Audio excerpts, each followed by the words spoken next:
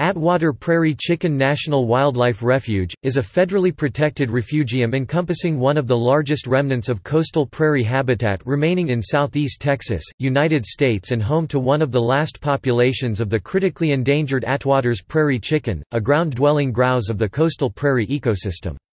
The 10,528-acre (43 square kilometers) refuge, located in eastern Colorado County, approximately 60 miles (100 kilometers) west of Houston, Texas, was established in 1972 and is one of a handful of national wildlife refuges managed specifically for an endangered species. In the mid-1960s, the World Wildlife Fund purchased 3,500 acres 14 square kilometers of land to preserve some remaining coastal prairie for the Attwater's prairie chicken.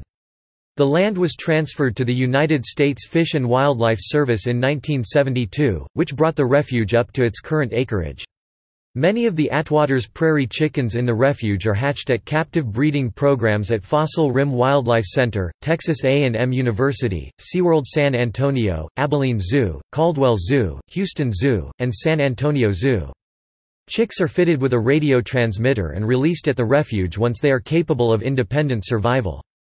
To maintain the prairie ecosystem, the refuge staff does prescribed burns of 2000 acres, 8.1 square kilometers to 3000 acres, 12 square kilometers annually in January or February. The burns help invigorate the grasses by removing dead stems and control the growth of brush and invasive species of plants. The staff also converts formerly cultivated land in the refuge back to prairie by replanting native grasses. Over 250 species of birds in addition to the Attwater's prairie chicken have been observed in the refuge.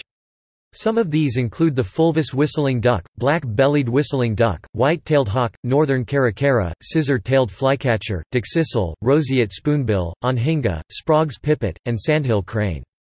Mammals in the refuge include plains bison, 13-lined ground squirrel, bobcats, coyotes, nine-banded armadillo, and white-tailed deer. American alligators share the ponds with softshell turtles. American bullfrog and upland chorus frog calls are heard in the refuge. Indian paintbrush, bluebonnets, and butterfly milkweed are some of the many wildflowers that bloom in the park.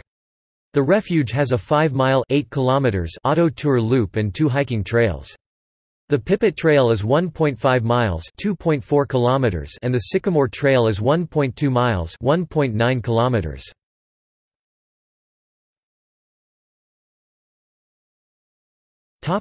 External links. Attwater Prairie Chicken National Wildlife Refuge. This article incorporates public domain material from websites or documents of the United States Fish and Wildlife Service